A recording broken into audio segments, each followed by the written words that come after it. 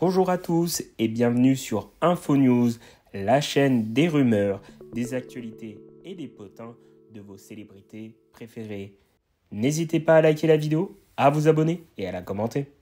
A l'inverse du 26 juillet, Paris n'est pas sous les d'eau, mais il faisait même très très chaud pendant cette cérémonie de clôture.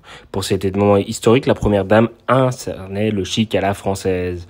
Elle portait pour l'occasion une superbe veste de tailleur blanche avec un joli détail, des boutons et des revers noirs. La mère de Tiffany Lawrence a accompagné cette pièce d'un pantalon noir près du corps qui soulignait parfaitement ses jambes sculptées. Pour peaufiner son look black and white, l'épouse d'Emmanuel Macron a opté pour un petit sac à main carbone. Côté mise en beauté, elle est restée fidèle à elle-même. Merci à tous d'avoir aidé la vidéo.